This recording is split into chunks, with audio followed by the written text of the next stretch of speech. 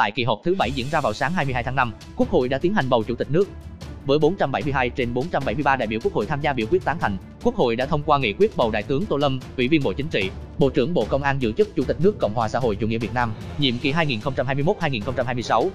Sau khi được bầu, tân Chủ tịch nước đã tuyên thệ nhậm chức theo quy định. Dưới cờ đỏ sao vàng thiêng liêng của Tổ quốc, trước Quốc hội và đồng bào cử tri cả nước, tôi, Chủ tịch nước Cộng hòa xã hội chủ nghĩa Việt Nam, xin tuyên thệ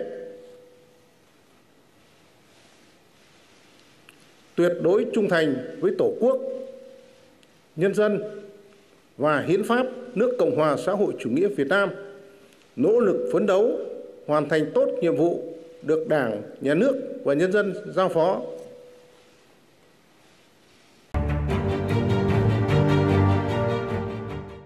Chúng tôi xin trân trọng giới thiệu tóm tắt tiểu sử đồng chí Tô Lâm, Ủy viên Bộ Chính trị, Chủ tịch nước Cộng hòa xã hội chủ nghĩa Việt Nam.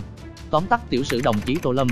Họ và tên: Tô Lâm, ngày sinh 10 tháng 7 năm 1957, dân tộc Kinh, quê quán xã Nghĩa Trụ, huyện Văn Giang, tỉnh Hưng Yên.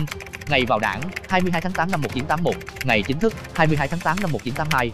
Chuyên môn nghiệp vụ luật, an ninh, học hàm, học vị, giáo sư, tiến sĩ luật học, lý luận chính trị, cao cấp, ngoại ngữ, tiếng Anh C, Ủy viên Ban chấp hành Trung ương Đảng khóa 11, 12, 13, Ủy viên Bộ Chính trị khóa 12, 13, đại biểu Quốc hội khóa 14, 15, khen thưởng 3 huân chương quân công hạng nhất, huân chương quân công hạng 3, 2 huân chương chiến công hạng nhất, huân chương chiến công hạng nhì, 3 huân chương chiến sĩ vẻ vang hạng nhất, nhì, 3 huy chương vì sự nghiệp an ninh tổ quốc, 6 huân chương của nhà nước Lào, huân chương tự do hạng nhất, nhì, huân chương lao động hạng nhất, nhì, huân chương hữu nghị, huân chương anh dũng hạng nhất, huân chương Sahamet Raithip Erdin của nhà nước Campuchia, huân chương hạng nhất 6 tháng 6 của nhà nước Cuba, huân chương hữu nghị của Liên bang Nga. Tóm tắt quá trình công tác của đồng chí Tô Lâm, 1974-1979, học viên Đại học An ninh Nhân dân nay là Học viện An ninh Nhân dân. 1979-1988, cán bộ, Bộ Nội vụ nay là Bộ Công an. 1988-1990, Phó trưởng phòng, Tổng cục An ninh, Bộ Nội vụ nay là Bộ Công an. 1990-1993, trưởng phòng, Tổng cục An ninh, Bộ Nội vụ nay là Bộ Công an. 1993-1997, Phó cục trưởng, Tổng cục An ninh, Bộ Công an. 1997-2006, Cục trưởng, Tổng cục An ninh, Bộ Công an. Tháng 6 năm 2006, tháng 12 năm 2009, Phó Tổng cục trưởng Tổng cục An ninh, Bộ Công an. Tháng 4 năm 2007 được thăng cấp bậc hàm thiếu tướng. Tháng 12 năm 2009, Phó Tổng cục trưởng phụ trách Tổng cục An ninh 1, Bộ Công an. Tháng 2 năm 2010 tháng 7 năm 2010, Bí thư Đảng ủy, Tổng cục trưởng Tổng cục An ninh 1, Ủy viên Đảng ủy Công an Trung ương. Tháng 7 năm 2010 được thăng cấp bậc hàm trung tướng. Tháng 8 năm 2010, tháng 1 năm 2011, Ủy viên Đảng ủy Công an Trung ương, Thứ trưởng Bộ Công an. Tháng 1 năm 2011, tháng 7 năm 2011, Ủy viên Ban chấp hành Trung ương Đảng khóa 11, Ủy viên Đảng ủy Công an Trung ương, Thứ trưởng Bộ Công an. Tháng 8 năm 2011, tháng 1 năm 2016, Ủy viên Ban chấp hành Trung ương Đảng khóa 11, Ủy viên Ban Thường vụ Đảng ủy Công an Trung ương, Thứ trưởng Bộ Công an. Tháng 9 năm 2014 thăng cấp bậc hàm thượng tướng. Tháng 1 năm 2016, tháng 3 năm 2016, Ủy viên Bộ Chính trị khóa 12, Ủy viên Ban Thường vụ Đảng ủy Công an Trung ương, Thứ trưởng Bộ Công an.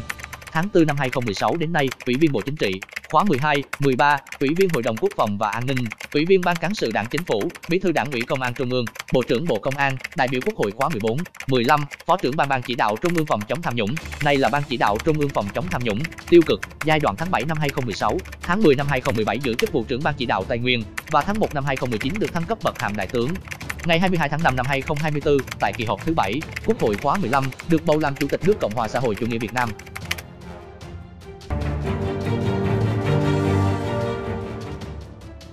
Quốc hội đã thông qua nghị quyết phê chuẩn đề nghị của Thủ tướng miễn nhiệm Bộ trưởng Bộ Công an với Đại tướng Tô Lâm sau khi ông Tô Lâm được bầu làm Chủ tịch nước. Sáng 22 tháng 5, theo thông cáo của Văn phòng Quốc hội, sau khi có kết quả bỏ phiếu, Tổng thư ký Quốc hội Bùi Văn Cường đã trình bày dự thảo nghị quyết về việc phê chuẩn đề nghị của Thủ tướng miễn nhiệm chức vụ Bộ trưởng Bộ Công an với Đại tướng Tô Lâm. Dưới sự điều hành của Chủ tịch Quốc hội Trần Thanh Mẫn, Quốc hội nghe ban kiểm phiếu báo cáo kết quả kiểm phiếu về việc miễn nhiệm chức vụ Bộ trưởng Bộ Công an. Quốc hội nghe Tổng thư ký Quốc hội Bùi Văn Cường trình bày dự thảo nghị quyết phê chuẩn đề nghị của Thủ tướng Chính phủ về việc miễn nhiệm Bộ trưởng Bộ Công an nhiệm kỳ 2021 đến 2026. Sau đó, Quốc hội biểu quyết thông qua nghị quyết phê chuẩn miễn nhiệm chức vụ Bộ trưởng Bộ Công an. Kết quả có 465 đại biểu tham gia biểu quyết, bằng 95,48% tổng số đại biểu Quốc hội, trong đó có 465 đại biểu tán thành, bằng 95,48% tổng số đại biểu Quốc hội. Việc Quốc hội miễn nhiệm Bộ trưởng Công an Tô Lâm, dư luận đặt ra nhiều câu hỏi ai sẽ thay ông Tô Lâm ngồi vào ghế Bộ trưởng Bộ Công an.